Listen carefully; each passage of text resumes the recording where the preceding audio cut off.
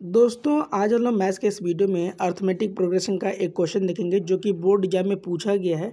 इसे कैसे करते हैं? चलिए हम लोग इसको समझते हैं। सबसे पहले देखो बेसिक इन्फॉर्मेशन क्या दी जा रही है। बताया गया है कि एक अर्थमेटिक प्रोग्रेशन में स्टार्टिंग के तीन टर्म दिए गए हैं, जिसमें पहला टर्म आपका थ्री वाई माइनस वन है, दूसरा है आपका थ्री वाई प्लस फाइव और तीसरा टर्म है फाइव वाई प्लस वन और आपसे इसमें वाई की वैल्यू पूछी जा रही है। तो एक कॉमन चीज़ हमेशा याद रखिएगा कि अगर तीन टर्म दिए गए हैं, जैसे पहला टर्म है ए वन दूसरा टर्म है ए टू और तीसरा टर्म है ए थ्री तो किन्हीं भी दो कंजिकेटिव टर्म के बीच में जो कॉमन डिफरेंस जो होता है, वो सेम होता है। यानी अगर हम सेकेंड वाले टर्म में से पहला टर्म अगर हम सपरेट करेंगे और थर्ड टर्म में से हम सेकेंड टर्म सपरेट करेंगे तो इनका जो कॉमन डिफरेंस जो आएगा, वो सेम आएगा।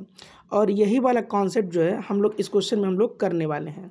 तो यहाँ पे हम लोग सबसे पहले क्या करें कि सेकेंड टर्म में से हम पहला टर्म सपरेट करेंगे।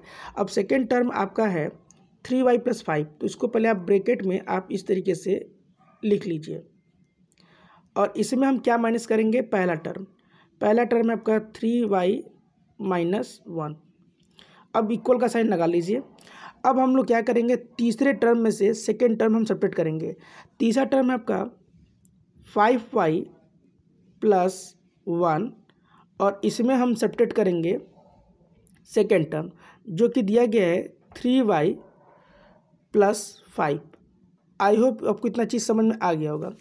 अब हम लोग यहाँ पे क्या करेंगे कि ब्रैकेट जो लेफ़्ट हैंड में जो पोर्शन जो देख रहे हैं ना, उसको सॉल्व करेंगे। तो सॉल्व करेंगे तो हमें क्या मिलेगा?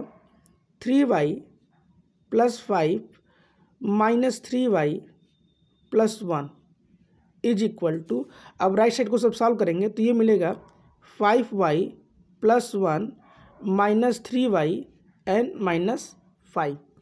अब यहाँ देखो, ये जो थ्री वाई है और माइनस थ्री वाई है, ये कैंसिल आउट हो जाएँगे, चूँकि है एडिटी इनवर्स अब फाइव प्लस वन कितना हो गया? ये आपका हो गया सिक्स।